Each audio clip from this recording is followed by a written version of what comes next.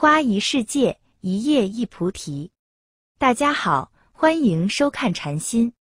正文开始之前，麻烦大家点点订阅和小铃铛，订阅是免费的哦。禅心必定会把更优质的内容分享给大家，点赞是对我们最好的支持。南无阿弥陀佛，感谢您。今天和大家分享的是，学佛人遇到违缘、逆缘来了。有这几种表现，说明您真有修行。谁的人生都不可能一帆风顺，常说人生不如意事十之八九。细细数来，在自己几十年的人生时光中，真正能够过得舒心惬意的时光，其实并不多。生活中总是存在这样或者那样的烦恼。那么，当这些违缘来临的时候，我们究竟应该抱以什么样的态度来面对，才是正确的呢？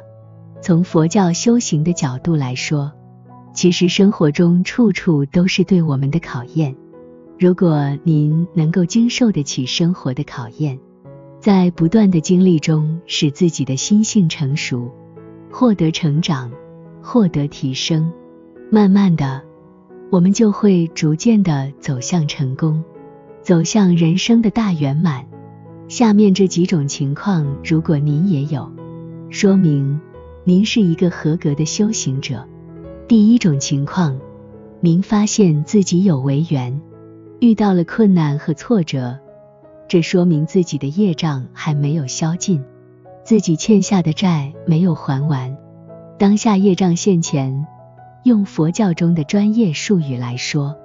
就是自己过去世造作的恶业所伤害的众生，现在成为了自己的冤情债主，他们要找到自己来索求偿还。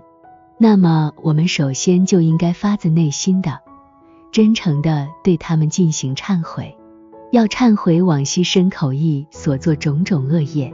所谓忏除业障，真心忏悔才能使业障消除。这是解决问题的根本之道。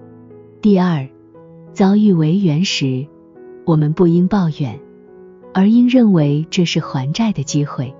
很多人喜欢自己一路顺风，凡事都能够顺顺利利，身体健康、平安，诸事皆能顺遂。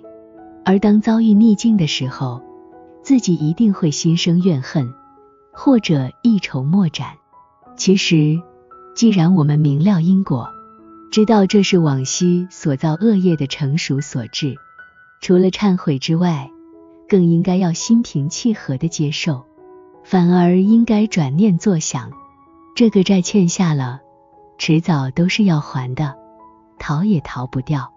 佛经上告诉我们，假使百千劫，所作业不亡，因缘会遇时。果报还自受，既然现在遭遇了逆境，说明现在就是因缘会遇之时，就是承受果报之时。既然逃不掉、躲不掉，那么现在承受，也就相当于现在就把债务还清。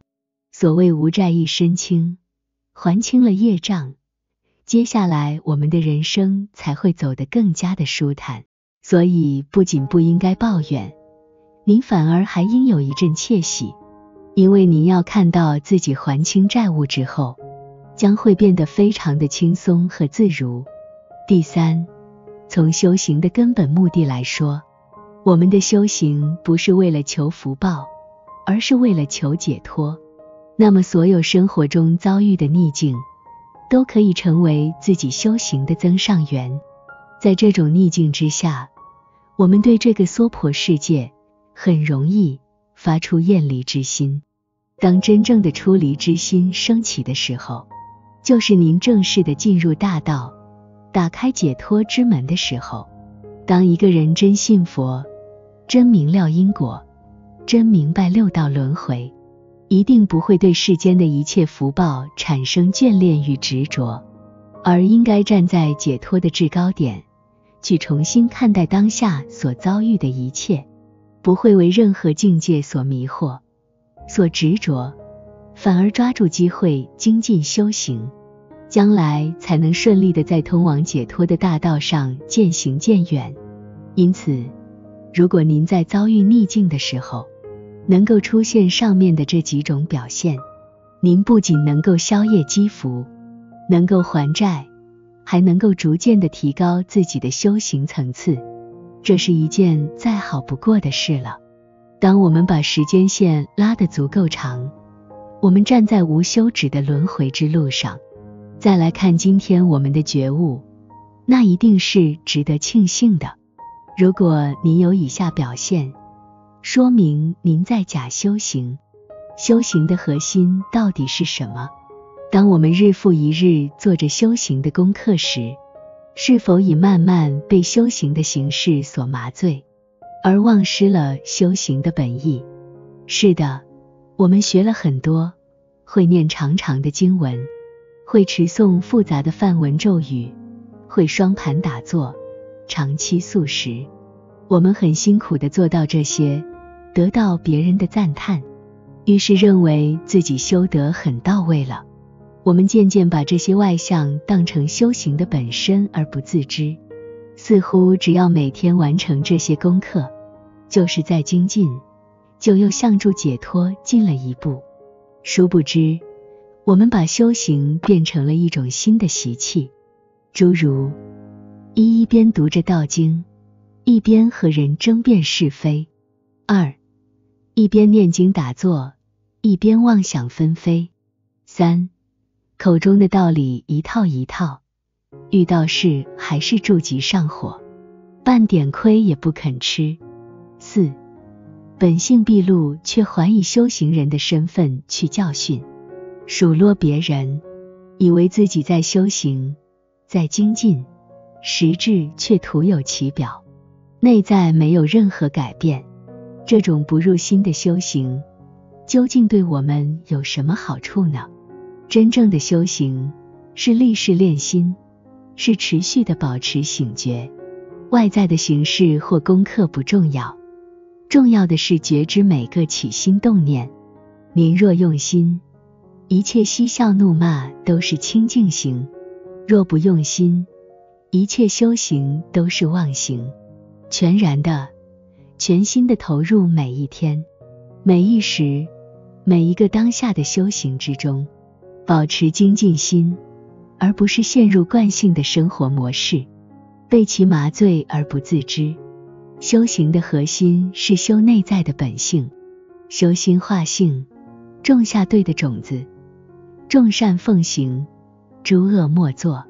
才是真修行，别用修行麻木自己，不要被修行的假象所迷惑，不自欺，不欺人，老实用心。修行只有一件事，那就是关注您的心，除此别无他事。您的父母、您的伴侣、您的孩子、您的朋友、同事，您周围的一切人都只是帮您修行的角色。或是让您看清自己的镜子，您无法要求他们改变。首先，这是非常吃力的事；其次，说明您用错了功，在心外寻求解决之道。假如您因失去正念而与人争执，一旦觉知，应立即回到您的心，关照您的情绪和念头，念起即觉，觉知即无。不应继续停留在外部与人争吵，因为在错误的地方做工，除了让烦恼更加增长之外，对您或他人都毫无益处。修行只有一件事，那就是回到您的心，不是风动，不是翻动，是因为您的心动。您的工作，您的事业，您的学习，您的生活。所有一切发生的事情，都是帮您修行的境界。让我们历尽验心，您是心随境转，妄加攀缘，还是心无所住，如如不动？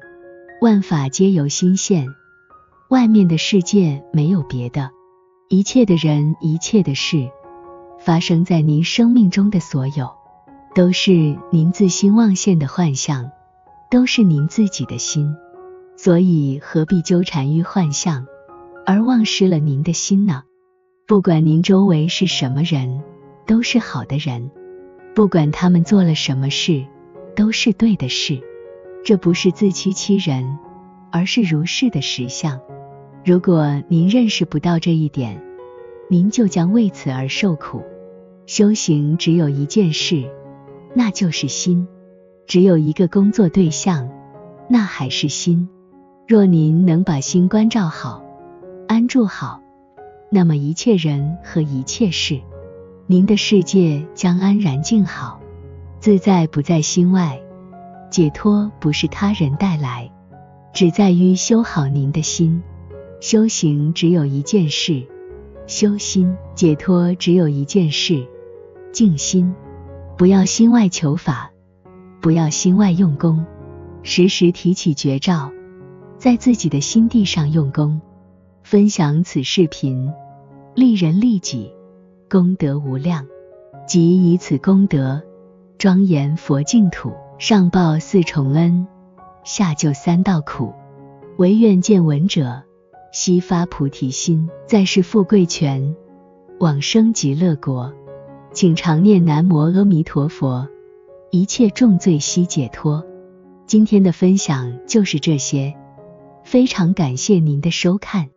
喜欢禅心频道，别忘记点点订阅和开启小铃铛。分享，期待您的留言与转发。